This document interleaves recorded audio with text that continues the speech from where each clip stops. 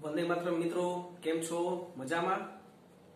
મિત્રો, આજે આપણે એક સરસ મજાનું ચેપ્ટર શરૂ કરવા જઈ રહ્યા છે અને એનો થોડીક ઝલક તમે અગિયારમા ધોરણમાં જોઈ ગયેલા છો. એ જ વસ્તુ આપણે બારમા ધોરણમાં પણ જોવાના છે પણ એનાથી થોડુંક અપ લેવલમાં. અને એ ચેપ્ટર છે ચેપ્ટર નંબર વન, સંબંધ અને વિધેય. Relation and function. ફંક્શન એ રિલેશન પર આધારિત છે. વિધેય એ સંબંધ પર આધારિત છે. તો સૌપ્રથમ આપણે સંબંધ જોઈશું.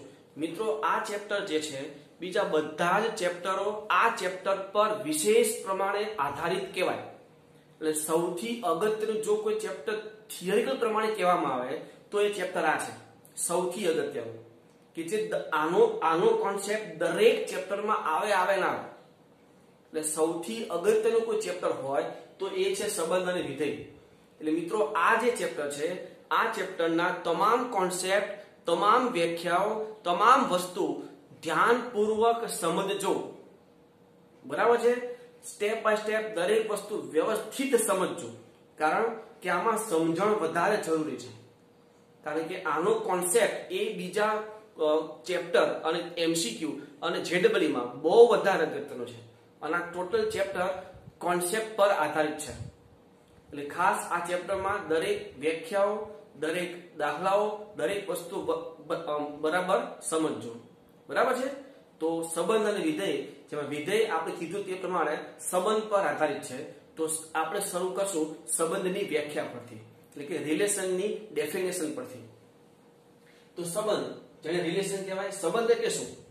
તો સંબંધ માટે કોઈ પણ બે વસ્તુ કે કોઈ પણ બે ગણની જરૂર પડશે. તો આપણે સમજીએ કે ગણ આર પર આધારિત કોઈ પણ બે અરિક્ત ગણ.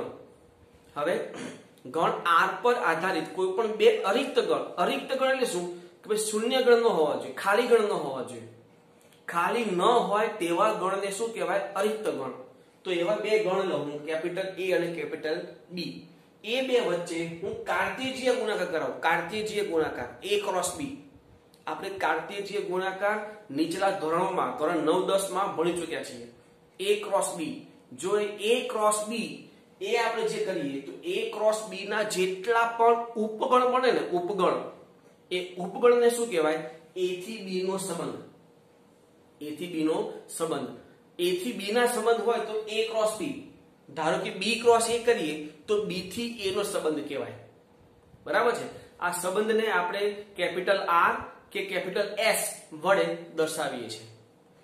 અમુક વખતે કેપિટલ આર વપરાય છે, અમુક વખતે કેપિટલ એસ વપરાય છે. એ તો રકમમાં આપી જ હોય કે એસ એ સંબંધ છે આર એ સંબંધ છે, આવું આપણને આપ્યું હશે. પણ એ ક્રોસ બી ના ઉપગણને આપણે શું કહીશું? એ થી બી નો સંબંધ. હવે એ ક્રોસ બી ના તો ઘણા બધા ઉપગણ બને. બરાબર છે? ધારો કે હું તમને એક ઉદાહરણ આપું કે કોઈ પણ બે વ્યક્તિ, ધારો કે દાદા અને દાદી છે. તો એનો જે પરિવાર હોય, એનો પરિવાર એનો પરિવાર કેટલો મોટો હોય? ધારો કે દાદા અને દાદીના ટોટલ ત્રણ પુત્ર હોય. તો ત્રણ પુત્ર એના મેરેજ થાય, એ ટોટલ બબેના બીજા ત્રણ જોડકા બને. તો એ બબેના ત્રણ જોડકા પછી એનો જો પરિવાર આગળ જાય, તો કેટલી લાંબી આખી એક જોડી બને? તો આમાંથી તમે કોઈ પણ બે વ્યક્તિ લઈ લો કોઈ પણ બે વ્યક્તિ. તો એ બે વચ્ચે કોઈના કોઈ રિલેશન તો હોવાનો જ. તો એને આપણે શું કહીશું? આ સંબંધ. એટલે મિત્રો, સંબંધ જે છે, એના માટે કોઈ પણ બે બે ગણ અથવા કોઈ પણ બે વ્યક્તિ એ આવશ્યક છે જે કેવા હોવા જોઈએ, અરિક્ત, ખાલી ન હોવો જોઈએ. કોઈ પણ એક વ્યક્તિનો સંબંધ હોય, એક વ્યક્તિનો કોની સાથે? કોઈની એક વ્યક્તિનો પોતાની સાથે કહે તો પોતાની સાથે પણ સંબંધ તો કહી શકીએ. કયો એ આગળ હું તમને કરાવું. પણ એક વ્યક્તિનો સંબંધ, પણ એક વ્યક્તિનું કોઈની સાથે, તો આપણે બતાવવું પડે ને. એટલે સંબંધ દર્શાવવા માટે કોઈ પણ બે વ્યક્તિ અથવા જો મેથ્સની પરિભાષામાં કહો તો કોઈ પણ બે ગણની જરૂર પડે પડે અને પડે. ખ્યાલ આવશે? એટલે એ ક્રોસ બી ના ઉપગણ, એને શું કહીશું આપણે? સંબંધ. દાદા ક્રોસ દાદી ના જે પણ ઉપગણ બને છે જે જે એના પરિવારના ઘટ જે સભ્યો છે, એ સભ્યના ઘટકોને શું કહેવાય આપણે? સંબંધ કહી શકીએ છીએ. બરાબર છે? તો એ ક્રોસ b ના ઉપગણને શું કહેવાય? A થી બી નો સંબંધ. નેક્સ્ટ વ્યાખ્યા જોઈએ, ખાલી અથવા રિક્ત સંબંધ. ખાલી સંબંધ અથવા રિક્ત સંબંધ. તો સમજો, ગણ એ પરના એક ઘટક એક પણ ઘટક ન હોય, ગણ a ના એક પણ ઘટક ન હોય, તેવા સંબંધને શું કહેવાય? ખાલી સંબંધ. ધારો કે આપણે આ એ ક્રોસ b નું ઉપગણ બનાવીએ તો કોઈ પણ ના ઉપગણ બનાવીએ, ત્યારે પહેલો ઘટક ફાઈ તો આવે જ. દરેકનું ઉપગણ ફાઈ તો હોય જ. અને ફાઈ જે છે, એ એ ક્રોસ બી નું ઉપગણ છે, તો ફાઈ ને શું કહેવાય? ખાલી ગણ. કારણ કે એમાં એક પણ ઘટક સમાયેલા નથી. બરાબર? ફરી કહું છું એ ક્રોસ બી ના ઉપગણને સંબંધ કહેવાય. પણ એ ક્રોસ બી ના ઉપગણમાં ફાઈ તો આવવાનું કે ન આવે કોઈ પણ કોઈ પણ ગણના તમે ઉપગણ બનાવો, તો બે ઘટક હોય હોય ને હોય. કયા? એક તો ફાય અને તે પોતે. પણ ધારો કે કોઈ ખાલી ગણ હોય, તો ખાલી ગણનો ઉપગણમાં ખાલી ગણ તો આવે આવે ના બરાબર છે? એટલે ખાલી ગણ એ તમામ ગણના ઉપગણમાં હોય જ. તો એ ક્રોસ બી નો ઉપગણ બનાવો, તો એમાં ફાઈ તો આવવાનો છે. તો ફાઈ જે છે, એનું શું કહેવાય? ખાલી સંબંધ, અથવા રિક્ત સંબંધ. અહીંયા છે કે phi subset of A cross A અહીંયા એ એક જ ગણ લખ્યો છે એટલે. બરાબર છે? હવે નેક્સ્ટ વ્યાખ્યા જોઈએ સાર્વત્રિક સંબંધ.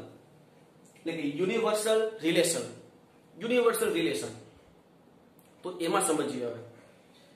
ઘણ એ પરનો સંબંધ એ ક્રોસ એ એ ક્રોસ એ હોય તેને આપણે સાર્વત્રિક સંબંધ કહીએ છીએ. એટલે કોઈ રિલેશન ધારો કે આ આ એ ક્રોસ બી છે. તો એ ક્રોસ બી ના ઉપગણમાં તે પોતે તો આવશે જ ને. એ ક્રોસ બી આવશે કે નહીં આવે? આવે જ ને. તો એ ક્રોસ બી ના ઉપગણમાં એ ક્રોસ બી છે જ. તો જો આપણો સંબંધ એ ક્રોસ બી જ હોય એ ક્રોસ બી જ હોય, તો એને શું કહેવાય? સાર્વત્રિક સંબંધ. ધારો કે મેં તમને પેલી એક ઉદાહરણ આપ્યું, દાદા દાદી. તો દાદા દાદીનો સંબંધ લઈ લો, તો એની અંદર તો બધા ઘટકો આવી ગયા. તો શું કહેવાય એને? સાર્વત્રિક સંબંધ. તો એ ક્રોસ બી એ જ આપણો સંબંધ હોય અથવા એ ક્રોસ એ આના પ્રમાણે એ ક્રોસ એ અને આના પ્રમાણે એ ક્રોસ બી એ જ આપણો સંબંધ હોય, તો શું કહેવાય એને? સાર્વત્રિક સંબંધ. બરાબર છે? એટલે આ જે વ્યાખ્યાઓ છે, સંબંધ છે, ખાલી સંબંધ છે અને સાર્વત્રિક સંબંધ છે. આ ત્રણ વ્યાખ્યાઓ આપણે અગિયારમા ધોરણમાં સમજી ચૂક્યા છીએ. આપણે એના પછીની જે વ્યાખ્યાઓ છે, એના પછીની વ્યાખ્યાઓ. એ વધારે અગત્ય છે બારમા ધોરણ માટે. ઉપરની ત્રણ વ્યાખ્યાઓ આપણે આગળ ભણી ચૂક્યા છીએ. એ ક્રોસ બી ના સબસેટને એટલે કે એ ક્રોસ બી ના ઉપગણને સંબંધ કહેવાય. અને જો એ ક્રોસ બી નો ઉપગણ ખાલી ગણ હોય, તો એને ખાલી સંબંધ કહેવાય. અને એ ક્રોસ બી પોતે જ સંબંધ હોય, તો શું કહેવાય એને? સાર્વત્રિક સંબંધ. જે આપણે અગિયારમા ધોરણમાં ભણી ચૂક્યા છીએ. બરાબર?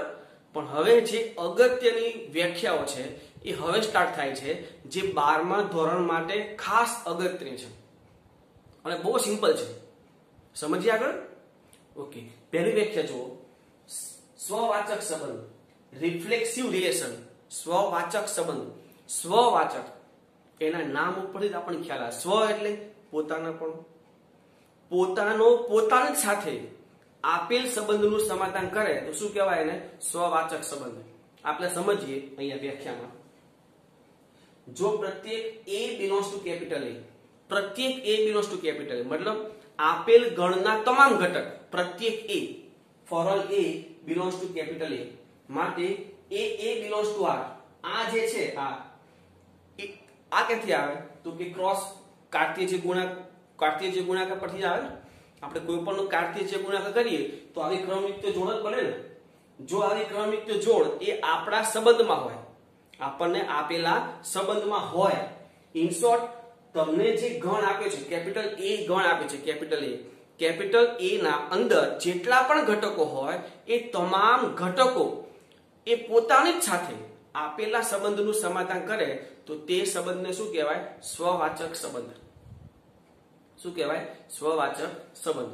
જેમ કે આપણે એક ઉદાહરણ લઈએ લેસોર ઇક્વલ ટુ આ લેસોર ઇક્વલ ટુ એક સંબંધ છે, એવું સમજી લો તમે. તો કોઈ પણ સંખ્યા ધારો કે પાંચ તો પાંચનું પાંચ સાથે જ આ સંબંધનું સમાધાન થાય કે ન થાય? એટલે કે લેસોર ઇક્વલ સમાધાન થાય કે ન થાય? હું એવું કહી શકું? Five less or equal to five કહી શકાય? તો લેસોર ઇક્વલ ટુ એ સ્વવાચક સંબંધ છે. ઓકે? ધારો કે હવે હું એક બીજું રિલેશન બોલું. ગેટર ધેન ગેટર ધેન હવે હું એમ કહી શકું? ફાઈવ ગેટર ધેન ફાઈવ તો કે નહીં. ફાઈવ ગેટર ધેન ફાઈવ કહી શકાય નહીં. તો ગેટર ધેન એ સ્વવાચક સંબંધ કહેવાય. નહીં. મતલબમાં આપણને સંબંધ આપેલો હશે અને ગણ પણ આપેલો હશે. આપણે દાખલા આગળ જોઈશું તમને ખ્યાલ આવશે. આપણને એક ગણ આપેલો હશે અને સંબંધ આપેલો હશે. તો એ જોવાનું, જે ગણ આપ્યો છે, એની અંદર આવેલા તમામ ઘટક તમામ ઘટક એ પોતાની જ સાથે આપેલ સંબંધનું સમાધાન કરે તો શું કહેવાય એને? સ્વવાચક સંબંધ. શું કહેવાય એને? સ્વવાચક સંબંધ. આપણે દાખલામાં જોઈશું તો વધારે ખ્યાલ આવશે. બરાબર છે? જેને આપણે આર ને સ્વવાચક સંબંધ કહીશું. આ જે છે, a a belongs to R થાય. જ્યાં એ એ એટલે એ ગણ એ ના તમામ ઘટક, કેપિટલ એ ની અંદર તમામ ઘટક હોવા જોઈએ. તો એક્ઝામ્પલમાં જોઈશું, વધારે ખ્યાલ આવશે. સ્વવાચક સંબંધ. આપણે આગળ વ્યાખ્યા જોઈએ. સંમિત સંબંધ. સિમેટ્રિક રિલેશન સંમિત સંબંધ એટલે શું? તો સંમિત સંબંધ સમજવા માટે પહેલા આપણે વ્યાખ્યા જોઈએ પછી એનું ડિસ્કશન કરીએ. જોજો. ગણ જો એસ એ ગણ એ પરનો એક સંબંધ છે. અહીંયા s ને આપણને ગણ એ પરનો સંબંધ આપેલો છે. મેં કીધું તમને હમણાં કે આપણે રકમમાં હંમેશા ગણ અને સંબંધ એ આપેલો જ છે. ખાલી આપણે ચેક કરવાનું કે એ સંબંધ સ્વવાચક છે, સંમિત છે કે પછી પરંપરિત છે. એ આપણે ખાલી ચેક કરવાનું હશે. બરાબર? તો સંમિત સંબંધ કોને કહેવાય? જો તો એસ એ ગણ એ પરનો સંબંધ છે, હોય. અને એ સંબંધ છે બી, મતલબમાં ગણ એ પરના, ગણ એ પરના કોઈ પણ બે ઘટક લઈ લો. ગણ એ ની અંદર હોય તેવા કોઈ પણ બે ઘટક તમે લઈ લો. કોઈ પણ બે ઘટક. કેવા ઘટક લેવાના? કે જે આપેલ સંબંધનું સમાધાન કરતા હોય. શું? આપેલ સંબંધનું સમાધાન કરતા હોય. તેવા બે ઘટકો લઈ લો. જે મેં લીધા, એ સંબંધ છે બી એટલે કે એ નો બી સાથે સંબંધ છે. હવે મેં એ અને બી લીધા, જે ઘટકનું જે આપેલ સંબંધનું સમાધાન કરે છે. આવા મેં લીધા. હવે ચેક કરવાનું કે એને હું ઉલટાઈ દઉં. એટલે કે બી સંબંધ છે એસ જો એને ઉલટાવાથી પણ એ સંબંધનું સમાધાન થતું હોય, તો તમે કહી શકો કે એ સંબંધ કેવો છે? સંમિત સંબંધ. એટલે કે એ સંબંધ છે બી ઇમ્પ્લાઇઝ બી સંબંધ છે એ. એટલે કે a b belongs to S મતલબમાં એબી એ આપેલ સંબંધનું સમાધાન કરતું હોય તેવું લઈ લેવાનું. Implies b a belongs to S થવું જોઈએ. આ ઇમ્પ્લાઇઝ નો મતલબ શું? મિત્રો, આપણે ગાણિતિક તર્કમાં જોયું છે. પી ઇમ્પ્લાઇઝ ક્યુ હોય પી એ હંમેશા સનાતન સત્ય હોય. પી કેવું હોય? હંમેશા સત્ય. મતલબમાં પહેલું જે છે, a b belongs to S એ તો હંમેશા સત્ય હોય જ. જે સત્ય બને તેવું આપણે લઈ લેવાનું. મતલબમાં ગણ એ પર કોઈ પણ બે ઘટક એવા લેવાના કે જે આપેલ સંબંધનું સમાધાન કરતા હોય. એટલે આ તો સત્ય થાય જ સમાધાન કરતા હોય તેવા. તો હવે જો આ એ બી છે આ બી એ છે. પણ જે એ બી લીધા છે, એનો ક્રમ ઉલટાઈ દો. ક્રમ ઉલટાવાથી પણ જો એ આપેલ સંબંધનું સમાધાન થઈ જાય બિલોંગ્સ ટુ એસ થાય, તો શું કહેવાય? તો એસ એ સંમિત સંબંધ છે, એવું કહી શકીએ. જેમ કે હું એક ઉદાહરણ લઉં. સંબંધ લઉં છું less or equal to less than or equal to હું એવું કહી શકું, કોઈ પણ બે સંખ્યા લઉં, ધારો કે થ્રી અને ફોર તો થ્રી અને ફોર એ સંબંધનું સમાધાન કરે તેવા લો પહેલા. મતલબમાં three less than or equal to four આવું લેવાય? Three less than or equal to four આ સમાધાન કરે છે. બરાબર? હવે થ્રી અને ફોર જેમ લખ્યા છે ને ઉલટાઈ દો અને પછી પાછું બોલો. Four less than or equal to three four less than or equal to three આવું કહેવાય? ઓકે નહીં. Three less or equal to four કહેવાય છે, પણ four less than or equal three કહેવાતું નથી. આનો મતલબ શું થયો? કે less than or equal to એ સંમિત સંબંધ નથી. બરાબર છે? તો આ પણ આપણે આગળ દાખલા જોઈશું, ત્યારે આપણે ખબર પડી જશે. અને નેક્સ્ટ વ્યાખ્યા છે, પરંપરિત સંબંધ. પરંપરિત સંબંધ એને ટ્રાન્ઝિટિવ રિલેશન કહેવાય. ટ્રાન્ઝિટિવ રિલેશન આ પરંપરિત સંબંધ એ આપણા જે રિલેશનમાં આપણા ફેમિલીમાં એક જે પરંપરા હોય, એના જેવું જ આ પરંપરિત સંબંધ એ કામ કરે છે. પહેલા વ્યાખ્યા સમજી જુઓ. તો ગણ, જો એસ એ ગણ એ પરનો સંબંધ હોય, અને એ સંબંધ છે બી, અને બી સંબંધ છે સી, આ ખાસ જોજો. અહીંયા ઇમ્પ્લાઇઝ છે ઇમ્પ્લાઇઝની આગળ શું કીધું છે? એ સંબંધ છે બી અને બી સંબંધ છે સી, જે આપણે લઈ લેવાનું હોય. કારણ કે ઇમ્પ્લાઇઝ છે અને ઇમ્પ્લાઇઝની આગળ નો ઘટક છે. તો ઇમ્પ્લાઇઝની આગળ પહેલા જે હોય એ તો સનાતન સત્ય હોય. આપણે ગાણિતિક તર્કમાં જોયું છે. તો પહેલું સનાતન સત્ય એમાં બે વસ્તુ કીધું છે કે એ સંબંધ છે બી અને બી સંબંધ છે સી આનો અર્થ શું થાય મિત્રો? કે એ અને બી નો સંબંધ છે. મતલબ જે સંબંધ આપ્યો હોય એનું સમાધાન કરે છે. અને પહેલો સંબંધ જે છે, આ, એ ક્યાં પૂરો થયો? બી થી પૂરો થયો. એ સંબંધ છે બી બી એ પૂરો થયો. હવે બીજો જે સંબંધ છે ને આ એ તમે જો શરૂ ક્યાંથી થાય છે? બી સંબંધ છે સી પહેલો એ સંબંધ છે બી અને બીજો બી સંબંધ છે સી તો આ રીતે જ આપણે ઘટકો લેવાના છે. ત્રણ ઘટકો લેવાના. પહેલો સંબંધ જ્યાં પૂરો થાય, ત્યાંથી બીજો સંબંધ સ્ટાર્ટ થવો જોઈએ. જો એવું હોય, તો પહેલો અને છેલ્લો ઘટક. પહેલો ઘટક એ અને છેલ્લો ઘટક સી મતલબમાં એ સંબંધ છે સી થાય. એટલે કે વધારે ડીપમાં સમજવા માટે આપણે આ રીતે લખી જુઓ કે a b belongs to S મતલબમાં એ અને બી નો સંબંધ છે. આ પહેલો સંબંધ છે. આ પહેલો સંબંધ પૂરો ક્યાં થયો? બી આગળ. તો બી થી સ્ટાર્ટ થાય તેવો હજી એક સંબંધ તમે પસંદ કરો. બી થી સ્ટાર્ટ થાય તેવો હજી એક સંબંધ આપણે પસંદ કરીએ b c b c belongs to S આ બંને ઇમ્પ્લાઇઝની આગળ છે. મતલબમાં આ બંને સંબંધ આ બંને ઘટકો એ આપેલ સંબંધનું સમાધાન કરતા હોવા જોઈએ. બરાબર? A b belongs to S અને b c belongs to S બંનેમાં જુઓ, પહેલો સંબંધ પૂરો ક્યાં થયો? બી આગળ. અને બીજો સંબંધ સ્ટાર્ટ ક્યાં થયો? બી આગળ. પહેલો સંબંધ પૂરો ક્યાં થયો? બી આગળ. અને બીજો સંબંધ સ્ટાર્ટ ક્યાંથી થયો? બી આગળ. તો પહેલો ઘટક એ અને છેલ્લો ઘટક સી મતલબમાં શું થવું જોઈએ? એસી બિલોંગ્સ ટુ સી થવું. એસી બિલોંગ્સ ટુ એસ થવું જોઈએ. જો એસી બિલોંગ્સ ટુ એસ થાય, તો એસ ને શું કહેવાય? પરંપરિત સંબંધ. એક પરંપરા જળવાવી જોઈએ. બરાબર છે? ફરી જોજો. ત્રણ ઘટકો લેવાના. એ ત્રણ ઘટકો કેવા લેવાના? કે પહેલા બે ઘટક એ આપેલ સંબંધનું સમાધાન કરતા હોય. હવે એમાં એ સંબંધ જ્યાંથી પૂરો થાય, ત્યાંથી બીજો સંબંધ શરૂ કરવાનો. ધારો કે એ થી બી સંબંધ છે, જે આપેલ સંબંધનું પૂરા સમાધાન કરે છે. બી એ પૂરો થયો સંબંધ એ તો બીજો સંબંધ બી થી સ્ટાર્ટ કરો. બી થી સી નો એ સંબંધ છે.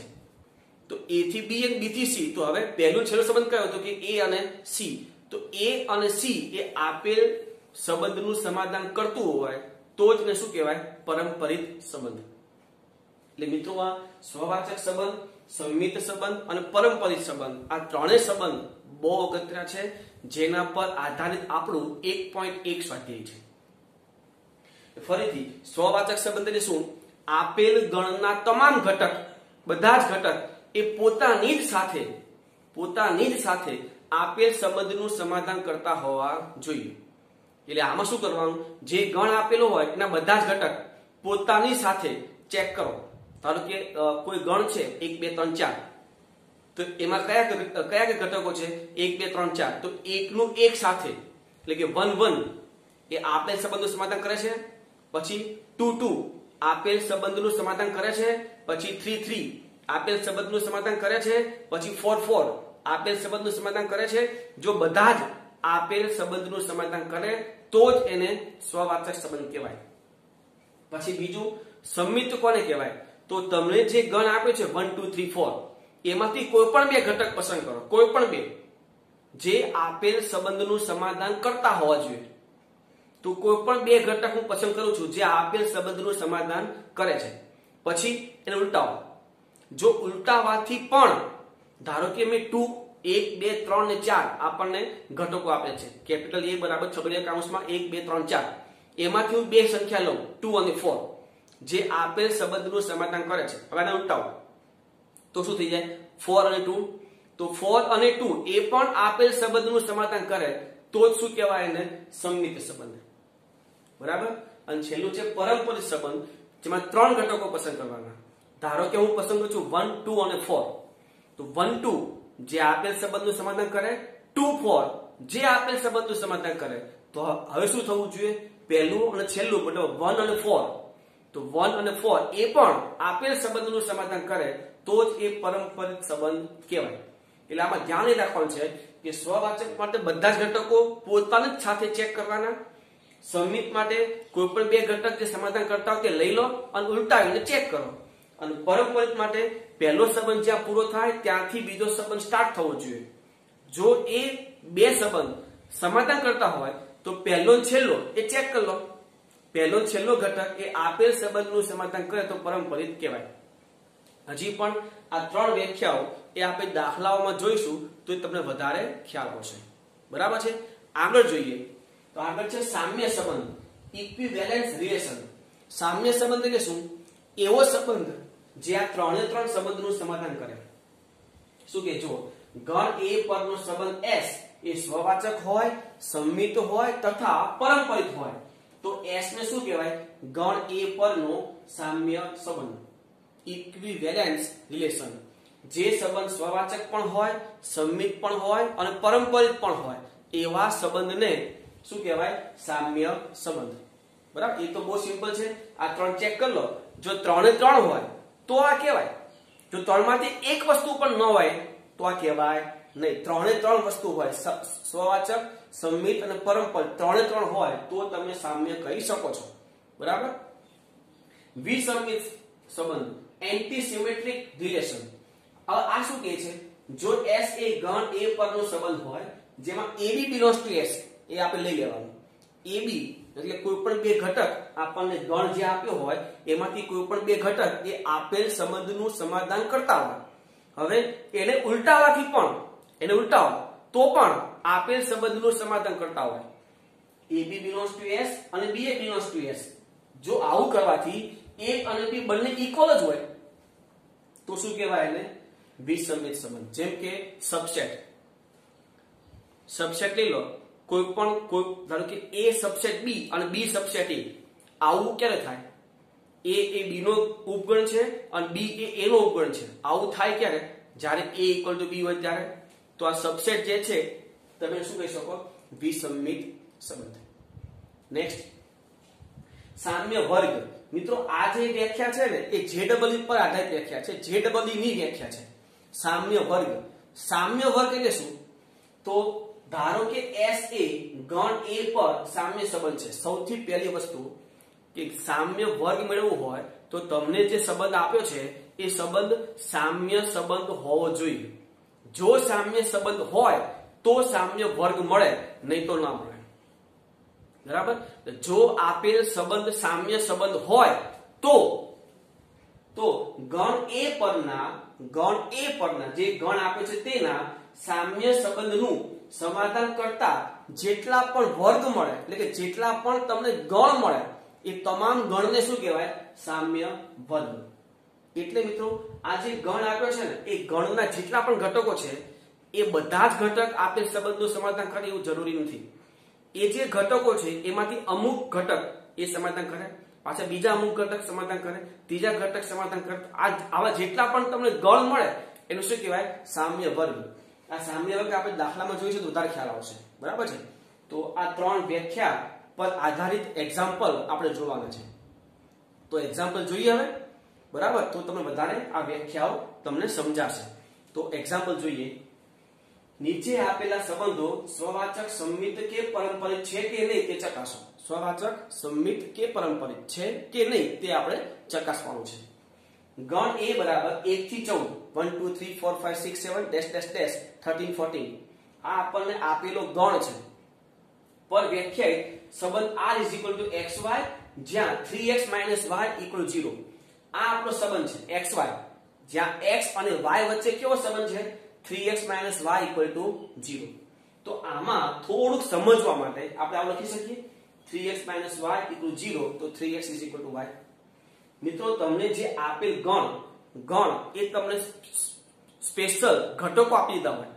1 થી 10 1 થી 5 1 થી 15 આવા જો ઘટકો તમને આપેલા હોય, ગણ એના તો આપેલ સંબંધ, આ જે સંબંધ છે, એ સંબંધમાં આ જે ગણ છે, આ ગણ કઈ ભાષામાં લખ્યો છે? ગણને લખવાની બે ભાષા, એક તો ગુણધર્મ અને એક યાદી. અત્યારે આ જે છે, એ ગુણધર્મ છે. તો એને શું કરી દેવાનું? યાદીમાં કન્વર્ટ કરી દેવાનું.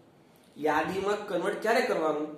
આપેલ સંબંધ જો ગુણધર્મમાં હોય, તો યાદીમાં કન્વર્ટ ક્યારે કરવાનું? જો આપેલ ગણ એમાં સ્પેશિયલ ઘટકો આપેલા હોય તો. સ્પેસિમેન્ટ ઘટકો આપેલા હોય તો. કયા? તો કે 1 2 3 4 5 10 15 20 15 સુધી. દસ, એક થી દસ, એક થી પાંચ, આ રીતે. ધારો કે તમને એમ કીધું કે capital N capital Z capital R capital Q તો નહીં કરવાનું. કારણ કે એમાંથી આપણે સ્પષ્ટ ઘટકો નહીં લઈ શકીએ. કેપિટલ એન કીધું તો ક્યાં સુધી લેવાના? એક થી એક, બે, ત્રણ, ચાર, પાંચ ક્યાં સુધી? એ સ્પષ્ટ આપણે કહી શકતા નથી. જો આમાં તો સ્પષ્ટ છે એક થી ચૌદ તો આમાં તો જો તમને સ્પષ્ટ ઘટકો આપેલા હોય, તો આપેલ સંબંધને ગુણધર્મને શું કરી દેવાનું? યાદીમાં કન્વર્ટ કરી દેવાનું. તો જો, આ equal to xy, જ્યાં 3x y equal to 0 તો 3x equal to y છે. જો જો, આમાં x અને y બંને ક્યાંથી લેવાના? આપણા ગણમાં હોવા જોઈએ. X અને y બંને ક્યાં હોવા જોઈએ? આપણા ગણની અંદર. તો હું x આમાંથી લઉં. 1 થી 14 લેવાના. તો x આમાં મૂકો. 1 તો y શું મળે? 3 એટલે પહેલો ઘટક થયો 1 3 હવે x હું 2 લઉં. તો y બરાબર 6 તો બીજો ઘટક થયો 2 6 x બરાબર 3 લઉં. તો y બરાબર 9 તો ત્રીજો ઘટક થયો 3 9 x ઇક્વલ ટુ 4 લઈએ. તો y ઇક્વલ 12 તો ચોથો ઘટક થયો 4 12 હવે x ઇક્વલ ટુ 5 લો 5 તો y ઇક્વલ ટુ 15 તો 15 આપણા ગણની અંદર નથી. જો 15 આપણા ગણની અંદર નથી, મતલબમાં y ની કિંમત 15 લઈ શકાતી નથી. જો y ની કિંમત 15 ન લઈ શકાય, તો x ની કિંમત પણ 5 લેવાય. નહીં, મતલબમાં હવે આગળ કોઈ પણ ઘટક મળતો નથી. ખબર પડી? એટલે આપણી પાસે ઘટકો કયા છે સંબંધના? 1 3 2 6 3 9 4 12 આ રિલેશન થઈ ગયું? હવે આપણે સ્વવાચક સંમિતને પરંપરિત ચેક કરીએ. તો સ્વવાચક એટલે શું? આપેલ ગણના તમામ ઘટક પોતાની જ સાથે. ધારો કે ગણ એના પહેલો ઘટક લઉં હું વન. તો વનનું વન સાથે, એટલે કે 1 1 તો 1 1 એ હોવું જોઈએ. આપણા સંબંધમાં 1 1 હોવું જોઈએ. શું આપણા સંબંધમાં 1 1 છે? અથવા 2 2 3 3 4 4 5 5 આ રીતે 13 13 કે 14 14 જે હોય તે. એક પણ ઘટક આમાં નથી. મેં વ્યાપક રીતે એક જ લખ્યું છે કે 1 1 does not belongs to R તેથી આર એ સ્વવાચક સંબંધ કહેવાય નહીં. એટલે ગણ એના બધા જ ઘટકો 14 14 ઘટક પોતાની જ સાથે આ સંબંધનું સમાધાન કરવું જોઈએ. ધારો કે 1 1 લો તો 1 1 આમાં મૂકો, સમાધાન કરે? 2 2 2 2 આમાં મૂકો, સમાધાન કરે? નહીં. બરાબર છે? એટલે આ એક ક્લિયર થઈ ગયું. હવે સંમિત માટે, તો સંમિત માટે બે ઘટકો લેવાના. જો આમાંથી લેવાના હોય, તો 1 3 1 3 એ આપેલ સંબંધની અંદર છે, મતલબ આ સંબંધનું સમાધાન કરે છે, અંદર છે તો ત્યાં કરવાના જ ને? તો 1 3 લઈ લો. 1 3 બિલોંગ્સ ટુ આર વન ને થ્રી લીધું. સંમિત પણ શું કરવાનું? જે લીધું એને ઉલટાવવાનું તો 3 1 લઈ લો. તો 3 1 આમાં છે? 1 3 જે સમાધાન કરે છે, પણ 3 1 આમાં છે? તો કે નહીં. તો 3 1 does not belongs to R તો આર એ સંમિત નથી. હું ફરી લઉં, આમાંથી 1 3 લઈ લઉં, જે આનું સમાધાન કરે છે, મૂકી જુઓ. એક્સ અને વાયની જગ્યા પર 1 3 મૂકી જુઓ, જે સમાધાન કરે છે. તો ઉલટાવો 3 1 લો, તો એ 3 1 મૂકો. X ની જગ્યા ઉપર થ્રી અને વાયની જગ્યા પર વન તો એટ આવશે. સમાધાન કરતું નથી, મતલબ સંમિત કહેવાય નહીં. હવે જોજો ખાસ પરંપરિત પરંપરિત માટે માટે આમાંથી બે જોડ પસંદ કરવી પડે, બે જોડ. કેવી જોડ? કે પહેલી જોડ તમે જે પણ લેશો, ધારો કે હું લઉં છું 1 3 તો બીજી જોડ થ્રી થી સ્ટાર્ટ થવી જોઈએ. જે લઈ શકાય થ્રી નાઇન એવો સંબંધમાંથી જ લઉં છું. તો સંબંધનું સમાધાન તો કરતું જ હોય, કારણ કે એમાંથી તો હું લઉં છું. તો 1 3 બિલોંગ્સ ટુ આર ને 3 9 બિલોંગ્સ ટુ આર જે સમાધાન કરે છે. હવે જે સમાધાન કરતું હોય આપણે આ તો લઈ લીધું. હવે એ જે જોડ લીધી છે પહેલું છેલ્લું, પહેલું એટલે વન છેલ્લું એટલે નાઇન એટલે કે 1 9 1 9 આપણા સંબંધમાં છે? ચેક કરો તો. નહીં. 1 9 આપણા સંબંધમાં નથી. તો આર એ પરંપરિત કહેવાય નહીં. બરાબર છે? એટલે r માંથી તમે જે પણ લેવાના, કોઈ પણ ઘટક લો. ધારો 1 3 તો ત્રણ પૂરો થયો, તો ત્રણથી સ્ટાર્ટ થાય, તો બીજો કોઈ પણ ઘટક લઈ લો. બરાબર? તો એ એ ત્યાં લેવાય છે 3 9 તો 1 3 3 9 લઈ શકીએ, જે સમાધાન કરે છે. તો પહેલો છેલ્લો ઘટક કયો હતો? તો કે વન અને નાઇન એ આપણા સંબંધમાં છે 1 9 નહીં. Does not belongs to R તે પરંપરિત કહેવાય નહીં હજી આગળ જોઈએ જો પ્રાકૃતિક સંખ્યાઓના ગણ n પર વ્યાખ્યાયિત. N પર વ્યાખ્યાયિત છે. સંબંધ xy જ્યાં y ઇક્વલ ટુ x 5 અને x લેસ ધેન 4 n અહીંયા કીધું છે n પર વ્યાખ્યાયિત. તો n પર વ્યાખ્યાયિત એટલે કયા ઘટક? તો કે 1 2 3 4 5 6 dash dash dash dash dash. પણ x તમને સ્પષ્ટ કીધું છે કે x લેસ ધેન 4 x ની કિંમત 4 થી નાની, તો 4 થી નાની લે. એક, બે, ત્રણ. ત્રણ સંખ્યા લેવાય તો ત્રણ સંખ્યા તો ફિક્સ છે. તો આપણે આ જે સંબંધ આપ્યો છે, એને આપણે ગુણધર્મ જગ્યાએ યાદીમાં કન્વર્ટ કરી નાખીએ. તો જુઓ, x ની જગ્યાએ 1 મૂકો તો y શું મળે? 6 એટલે 1 6 હવે x ની જગ્યા પર 2 મૂકો. તો 7y બરાબર 3 મૂકીએ તો 8 ને 1 6 2 7 ને 3 8 આ સંબંધ આપણને મળી ગયો. હવે સ્વવાચક ચેક કરવા માટે શું કરવાનું? આપેલ ગણના તમામ ઘટક. ધારો કે આપેલ ગણ n છે, તો n સ્ટાર્ટ કઈ થાય, તો કે 1 થી, તો 1 નો 1 સાથે જ, એટલે કે 1 1 એ આપેલ સંબંધનું સમાધાન કરે છે. 1 1 આ સંબંધનું સમાધાન કરે છે. આમાં ચેક ન ડાયરેક્ટ કારણ કે આ સંબંધના બધા ઘટકો જ છે. તો આમાં કોઈ જગ્યાએ 1 1 છે? નહીં. 2 2 છે? નહીં. 3 3 છે? કોઈ પણ એક ઘટક ન હોય, તો પણ એ સ્વવાચક કહેવાય. નહીં. તો એ લખ્યું છે સ્પષ્ટ છો one one does not belongs to r, તો r એ સ્વવાચક કહેવાય. નહીં. બરાબર? હવે સંમિત માટે તો આમાંથી કોઈ પણ એક ઘટક લઈ લો. ધારો કે 1 6 1 6 એ belongs ટુ r છે. 1 6 ટુ r. હવે જે 1 6 આપણે કેવા લીધા? કે જે ઘટક આપેલ સંબંધનું સમાધાન કરે છે. 1 6 એ આપેલ સંબંધનું સમાધાન કરે છે. હવે ઉલટાવો. 6 પણ કરી નાખો. આમાં મૂકો તો 6 1 પહેલી વાત તો x બરાબર 6 લેવાય જ નહીં. આમાં છે જ નહીં. તો 6 1 does not belongs to r. તેથી r એ સંમિત સંબંધ નથી. હવે જોજો ખાસ. પરંપરિત સંબંધ માટે, તો પેલા બે જોડ પસંદ કરીને આમાંથી બે જોડ કેવી પસંદ કરવાની? પહેલી જોડ જ્યાં પૂરી થાય, ત્યાંથી બીજી જોડ સ્ટાર્ટ થવી જોઈએ. તેવી પેલા આપણે લઈ લેવાની છે. પણ ધારો કે હું અહીંયા 1 6 લઉં 1 6 તો છ એ જોડ પૂરી થાય. તો છ થી સ્ટાર્ટ થાય તે બીજી જોડ છે? તો કે નહીં. ધારો કે 2 7 લઉં તો સાતથી સ્ટાર્ટ થાય તે બીજું કોઈ જોડી છે? તો કે નહીં. હું 3 8 લઉં, ધારો કે. તો એટથી સ્ટાર્ટ થાય તેવી બીજી કોઈ જોડી છે? નહીં. તો આ કન્ડિશનમાં શું કરવાનું? હું ડાબી બાજુ લઈ શકતો જ નથી. આજે આજે આપણને આપ્યું છે ઇમ્પ્લાઇઝ એ ઇમ્પ્લાઇઝની ડાબી બાજુ હું લઈ શકતો જ નથી. હવે યાદ કરો ગાણિતિક તર્ક. ગાણિતિક તર્ક પી ઇમ્પ્લાઇઝ ક્યુ પી સાચું હોય, તો ક્યુ ચેક કરવાનું. ક્યુ સાચું, તો આપેલ પેટર્ન સાચું. જો ક્યુ ખોટું, તો આપેલ આખું પ્રેરણ ખોટું. પણ યાદ કરો, એ પ્રેરણમાં જો પી પોતે જ ખોટું હોય, તો ક્યુ ચેક કરવાની જરૂર હતી? નહીં. જો પી પોતે જ ખોટું હોય, તો આખું પ્રેરણ ડાયરેક્ટ સાચું થઈ જતું હતું. યાદ છે કે નહીં? ગાણિતિક તર્ક. તો આ કન્ડિશન એવી છે કે આપણે પ્રેરણમાં અહીંયા ધારો કે 1 6 લઈએ તો 6 થી સ્ટાર્ટ થાય તેવી બીજી કોઈ જોડ લઈ શકતા જ નથી. મતલબમાં આ પ્રેરણનું એલએચએસ આપણે લઈ શકતા જ નથી કે ખોટું થાય છે. જો ખોટું થાય તો આખું પ્રેરણ કેવું થવાનું છે? સાચું. મતલબ શું છે? જોજો અહીંયા. અહીં 1 6 belongs ટુ આર છે, પરંતુ 6 થી શરૂ થતું બીજો કોઈ પણ સંબંધ વ્યાખ્યાયિત ન હોવાથી, તો તે સંબંધ કેવા કહેવાય ને? પરંપરિત સંબંધ છે એમ કહેવાય. કારણ કે 1 6 લઈએ તો છ થી સ્ટાર્ટ થાય તેવો બીજો કોઈ સંબંધ આપણે લઈ શકતા જ નથી. જો એ સંબંધ લઈ શકતા જ નથી, તો પ્રેરણમાં પહેલો જે ઘટક છે, એ જ ખોટો સાબિત થાય છે.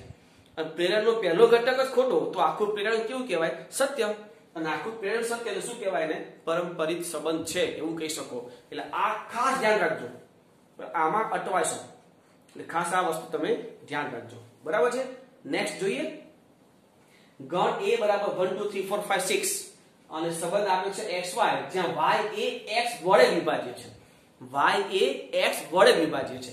જો જો અહીંયા ઊંધું આપ્યું છે, લખાય છે xy તો આ જે છે, y એ x વડે વિભાજ્ય એને એમ બોલાય, x વડે y વિભાજ્ય છે. કારણ કે xy છે, તો આપણે બોલવામાં પણ x આગળ રાખીએ. તો આ જે છે જે જગ્યાએ હું શું બોલું? x વડે y વિભાજ્ય છે. તો x પેલું 1 લઈ લો. તો 1 વડે જે પણ વિભાજ્ય હોય, એની યાદી બનાવો. તો કે વન વડે વન વિભાજ્ય હોય વન વડે ટુ વિભાજ્ય હોય વન વડે થ્રી વિભાજ્ય હોય વન વડે ફોર વિભાજ્ય હોય 1 5 1 6 પણ થાય. હવે એક્સ બરાબર ટુ લો, તો કે બે વડે જે વિભાજ્ય હોય, તો 2 2 2 વડે બે વિભાજ્ય હોય, બે વડે ફોર વિભાજ્ય હોય, બે વડે સિક્સ વિભાજ્ય હોય. બે વડે બીજા કોઈ ઘટક વિભાજ્ય આમાં નથી.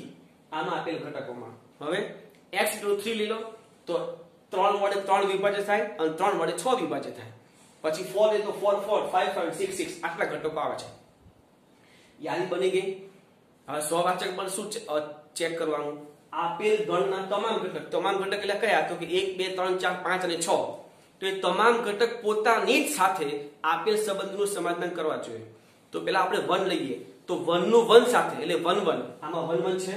તો કે આ. પછી ટુ નું ટુ સાથે. આમાં 2 2 છે? તો કે આ થ્રી નું 3 છે તો 3 3 છે? 4 4 છે 5 5 છે 6 6 છે. આ બધા છે. જુઓ આ 1 1 two two, three three, four four, five five, six six બધા જ ઘટક પોતાની જ સાથે આપેલ સંબંધનું સમાધાન કરે છે. મતલબમાં આપેલ સંબંધ કેવો કહેવાય? સ્વવાચક છે. બરાબર? હવે સંમિત માટે. તો સંમિત માટે આ જે સંબંધ છે, એમાંથી કોઈ પણ એક ઘટક લઈ લો. ધારો કે મેં લીધું છે one two.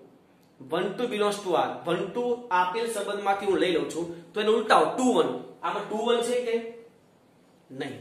તો two one does not belong to R તેથી આર એ સંમિત સંબંધ નથી. હવે ખાસ પરંપરિત માટે. તો પરંપરિત માટે પહેલા હું કોઈ પણ લઉં વન ટુ એક જોડી લઉં છું one two one two belong to R આ પ્રથમ જોડી લીધી. એ પ્રથમ જોડી ક્યાં પૂરી થાય? ટુ આગળ. તો હવે આમાંથી ટુ આગળ શરૂ થાય તેવી બીજી કોઈ પણ એક ક્રમ તમે લો. તો ટુ ફોર તો ટુ સિક્સ લઈ શકો ટુ ટુ જે લેવું તે લઈ શકો છો. મેં લીધું છે ટુ ફોર એટલે કે one two belongs to R અને two four belongs to R મેં કેવી જોડી પસંદ કરી? પહેલી જોડી છે વન ટુ જે ટુ એ પૂરી થાય, તો બીજી જોડી ટુ એ સ્ટાર્ટ થવી જોઈએ અને મેં લીધી છે two four one two belongs to R two four belongs to R તો પહેલું છેલ્લું, મતલબ વન ફોર તો આમાં વન ફોર છે ક્યાંય વન ફોર આવ્યું. તો ત્યાં લખાય one four belongs to R હજી આવી તમે બીજી ગમે તે ગમે તે જોડી લઈ શકો છો. તો ધ્યાન રાખજો પરંપરિતમાં ધ્યાન રાખજો ખાસ, કે આમાં તમારે આવી જોડી બનાવવાથી એક જોડી પણ જો સમાધાન ન કરે, તો એ પરંપરિત ન કહેવાય. મેં જોઈને ચેક કરી લીધું છે, આવી આ મેં જે જોડી લીધી, આવી ઘણી બધી જોડી ચેક કરી લીધી છે. આવા ઘણા બધા સંબંધ મેં ચેક કરી લીધા છે, જે આ આ રીતે સંબંધનું સમાધાન કરે જ છે. તેથી આ એ શું કહેવાય? પરંપરિત સંબંધ. બરાબર છે? અને નેક્સ્ટ દાખલો પૂર્ણાંકના ગણ z પર વ્યાખ્યાયિત. ઝેડ તમને આપ્યો છે ઝેડ એ વ્યાખ્યાયિત મતલબમાં એ કોઈ સ્પેસિમેન્ટ ન કહેવાય. ઝેડમાં કયા કયા ઘટક લેવાના? ડેશ ડેશ ડેશ, માઇનસ ત્રણ, માઇનસ બે, માઇનસ એક જીરો એક, બે, ત્રણ, ડેશ ડેશ ડેશ. પણ ડેશ ડેશ ડેશ ક્યાં પૂરું થાય? એ આપણને સ્પષ્ટ નથી. એટલે આમાં જે પણ સંબંધ આપણને આપેલો હશે, એ સંબંધ આપણે યાદીમાં બનાવશું નહીં. બરાબર? આ ઇક્વલ ટુ જેમાં એક્સ માઇનસ વાય એ પૂર્ણાંક છે એવું કીધું છે. એક્સ માઇનસ વાય કેવો છે? પૂર્ણાંક. તો આને આપણે વ્યાપક રીતે ચેક કરીએ. જો વ્યાપક. આ ગણ ઝેડ પર હું કોઈ પણ એક ઘટક પસંદ કરું. ધારો કે ઘટક સ્મોલ એ છે. હું સંખ્યાને ઘટક તરીકે લઈ લઉં છું. For all a belongs to z એનો પોતાની સાથે. A નો એ સાથે જ આમાં લઈ લો. એટલે કે x ઇક્વલ ટુ a અને y ઇક્વલ ટુ પણ a. મતલબમાં a માઇનસ a 0 તો 0 એ પૂર્ણાંક કહેવાય કે ન કહેવાય.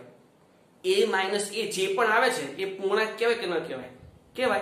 મતલબમાં હું કોઈ, આ z માંથી કોઈ પણ સંખ્યા લઉં, એ સંખ્યાનું તેની સાથે જ હું બાદબાકી કરું, તો જવાબ તો 0 જ આવવાનો છે. અને 0 તો પૂર્ણાંક કહેવાય જ. તો એ શું થયો? સ્વવાચક સંબંધ કહેવાય છે. બરાબર? હવે જોજો, હું આ તો એક ઘટક લીધો હવે સંમિત માટે હું બે ઘટક પસંદ કરું. For all a b belongs to for all એટલા માટે કહું છું કે z માંથી કોઈ પણ બે ઘટક, કોઈ પણ બે ઘટક, એને આપણે શું નામ આપ્યું છે? એડી z માંથી કોઈ પણ બે ઘટક, એને શું નામ આપ્યું છે? A d belongs to z જે a b equal to m નું સમાધાન કરતા હોવા જોઈએ. A b equal to m. આવે. જ્યાં m એ કેવું કીધું છે? પૂર્ણાંક. આ સમાધાન કરે તો જ લઈ શકાય, હો. નહીં તો ના લેવાય. A b m. જો a b m હોય, તો એને ઉલટાવો. મતલબમાં b a શું થઈ જાય? M. હવે જોજો m પૂર્ણાંક હોય, તો m શું થાય? ધારો કે ચાર પૂર્ણાંક છે, તો માઇનસ ચાર શું થાય? પૂર્ણાંક જ થાય ને? તો m પણ પૂર્ણાંક જ થયો. તો આ r એ કેવું થયું? સંમિત સંબંધ કહી શકીએ. અને છેલ્લો સંબંધ આપણે ચેક કરીએ. ધારો કે for all abc belongs to z. હું ત્રણ ઘટક લઉં છું કે જે શું કરવું જોઈએ? A b equal to m અને b c equal to n. જ્યાં m અને n બંને પૂર્ણાંક હોવા જોઈએ, મેં લખ્યું છે. જ્યાં mn એ પૂર્ણાંક છે. કારણ કે એનું સમાધાન કરે તો જ તમે લઈ શકો ને. તો a b equal to m અને b c is equal to n. હોય તો આ બંનેનો સરવાળો કરીએ. જુઓ. A b plus b c is equal to m plus n. આ b કેન્સલ મતલબમાં a c is equal to m n sorry m plus n. પહેલો ઘટક કયો હતો? તો કે ab બીજો ઘટક કયો હતો? Bc તો પરંપરિત માટે પહેલો ને છેલ્લો કયો? એટલે ac તો ac આપણે મૂકો એટલે a c. તો માઇનસ સી શું એમ પ્લસ એન હવે જોજો. એમ અને એન બંને પૂર્ણાંક છે. તો એનો સરવાળો પણ પૂર્ણાંક જ થાય. તો પ્લસ એન પણ પૂર્ણાંક જ થયો. મતલબમાં આ એ શું કહેવાય? પરંપરિત સંબંધ. બરાબર છે મિત્રો? એટલે આ રીતે ખાસ સમજી અને આ વસ્તુ તમે હવે લખી લો. લખી લો આટલું?